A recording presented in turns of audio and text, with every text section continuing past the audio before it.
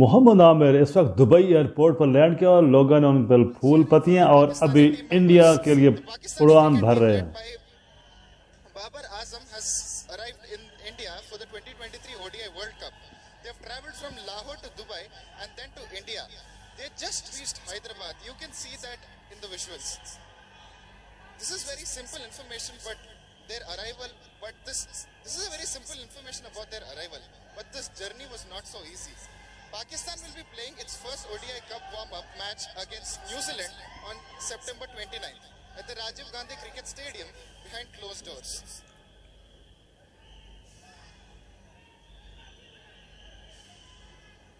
As you guys can see, fans are cheering for their favorite cricketers and they are also smiling looking at their fans.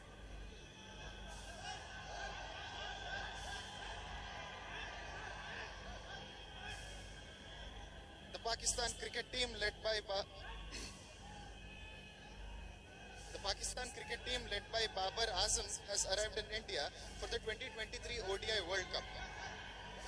They traveled from Lahore to Dubai and then to India. They just reached Hyderabad. You can see that in the visuals.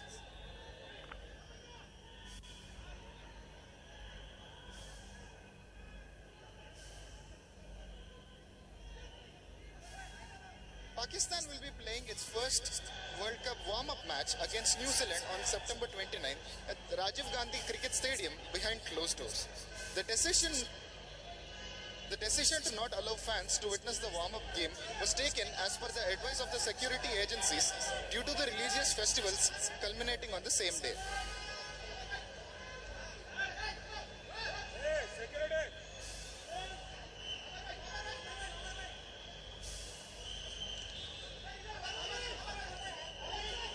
As you, as you can see in the visuals, the team are waving hands and smiling to their fans.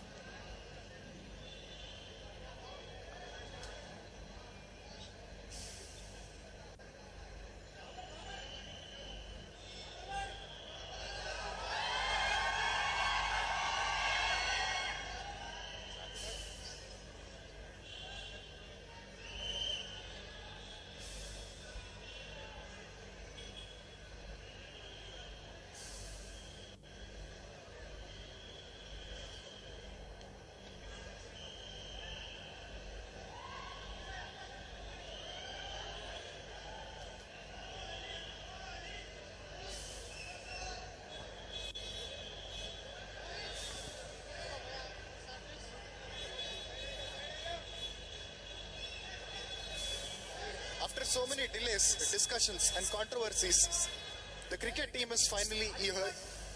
The cricket team is finally here to play their warm-up match on September 29th.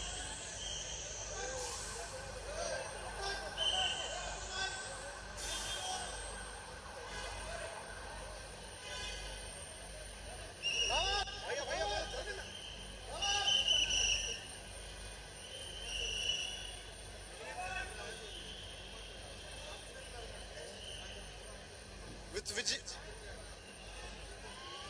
these are the visuals of the cricket team in the bus going to their hotel.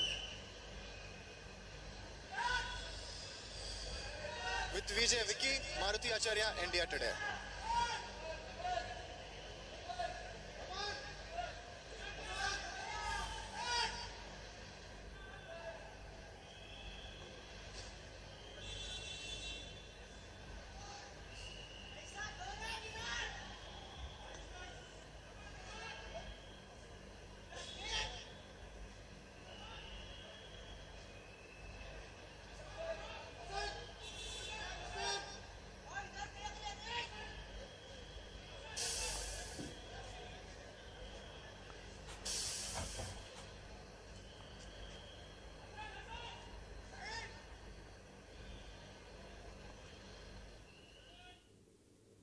Pakistani player इस वक्त हिंदुस्तान की सरजमीन पर हैदराबाद दक्कन जो arrival कर चुके हैं और बड़ी खुश खुरम और हिंदुस्तान के जो लोग हैं, उन्होंने बहुत खैर मकदम किया है और तमाम खिलाड़ियों को बहुत इज़्ज़त दी है वेलकम किया है जो ऑडियंस थे बाबर आज़म और बाकी शहनशाह अफरीदी और तमाम प्लेयर के साथ बहुत अच्छी तरह मिले हैं। ये देखते हैं आपको गाड़ी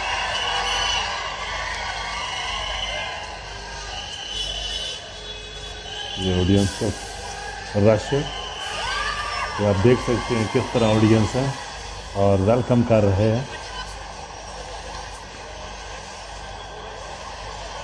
तो बाबर आज़म और शहीन शाह के जो फ़ैन हैं, वो सरहद के दोनों अतराफ में हैं और सिक्योरिटी जो थी वो बहुत अलर्ट थी और ज़्यादा सिक्योरिटी थी दूसरी टीमों के नस्बत पाकिस्तान के साथ जो सिक्योरिटी का जो मामलात हैं, वो बहुत सिक्योर किया और हर तरफ़ से एलिट फोर्स और स्पेशल फोर्स आपने देखा था ये काफ़ी चल रही थी पिछले तीन चार दिन से कि पाकिस्तान को वीज़ाज नहीं मिले हैं, उनको अपना प्लान चेंज करना पड़ा। वो दुबई में बोर्डिंग सेशन चाहते थे, लेकिन अब वो बुधवार यानी कि वेडनेसडे ट्रैवल करना चाहते हैं तो वो अब ट्रैवल कर सकते हैं, क्योंकि आज इंडिया ने ओके कर दिए हैं पाकिस्तान के वीजाज भी और अफ़गानिस्तान के वीज़ा बाय द वे 19 सितंबर को पाकिस्तान ने अप्लाई किए थे। जब आप इंडिया से पाकिस्तान या पाकिस्तान से इंडिया के वीजाज अप्लाई करते हैं तो आपको पासपोर्ट्स के समेत अप्लाई करना पड़ता है। फ़िज़िकल एप्लीकेशन देनी पड़ती है। तो चूँकि पाकिस्तान की टीम एशिया कप खेल रही थी श्रीलंका में 19 सितंबर को 19 सितंबर को पाकिस्तान ने अप्लाई किया था अपने डेलीगेशन का, खिलाड़ियों का वीज़ा और हुआ ये है कि जब भी इस तरह के वीज़ाज होते हैं, और ये पाकिस्तान भी जानता है तो सपोज़ आपने पाकिस्तान से अप्लाई किया है इंडिया के वीज़ा के लिए तो तीन ऐसी मिनिस्ट्रीज होती हैं हिंदुस्तान में जो वेट करती हैं उसको, यानी कि जो ओके करती हैं। इंडिया की home ministry ministry of external affairs foreign ministry और एक होती है स्पोर्ट्स मिनिस्ट्री तो एक एक कर सबकी जो अप्रूवल ले ली गई है। और आज वर्चुअली देखा जाए तो चौथा दिन ही था। अगर आप वर्क डे के लिहाज से करें तो आज वीजाज ओके कर दिए गए ये हकीकत है कि 28 जो दिन थे पहले, उस जो है वीज़े की ट्राई की गई थी। और पाकिस्तान की जो टीम है, उसने सबसे पहले जाना था बुध वाले दिन, लेकिन वो मंगल वाले दिन ही परवाज़ उसकी हो गई और मोहम्मद आमिर जो हैं, इस वक्त मैकियार्थर और बाकी तमाम लोगों के साथ मिल रहे हैं। वो एयरपोर्ट की तरफ़ गामजन हैं। और यह नसीम शाह हैं। कल जो पाकिस्तान की डेलीगेशन है, उनको मिल जाएगा और वो चाहें तो परसों सुबह जिस तरह से उन्होंने प्लान किया था, वो ट्रैवल कर सकते हैं। क्योंकि मैं देख रहा था पिछले दो तीन दिन से काफ़ी पाकिस्तान से बात आ रही थी और कुछ हद तक उनकी बात वाजिब भी थी। क्योंकि आईसीसी वर्ल्ड कप है आईसीसी खुद गारंटर है और पाकिस्तान क्रिकेट बोर्ड ने आईसीसी को भी एक चिट्ठी लिखी कि भाई आप से हम वीज़ास को लेकर बड़ी देर से बात कर रहे थे। आप आइए और इस मामले को एक्सप्लाइट कराइए। लेकिन हुआ ये है कि वीज़ास आज ओके कर दिए गए हैं हिंदुस्तान की तरफ़ से।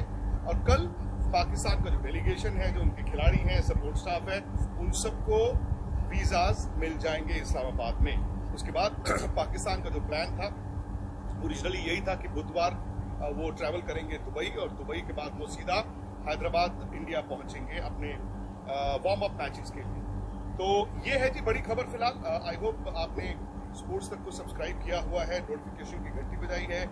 अगर आपने किया है तो आप इस खबर को सबसे पहले सुन रहे हैं।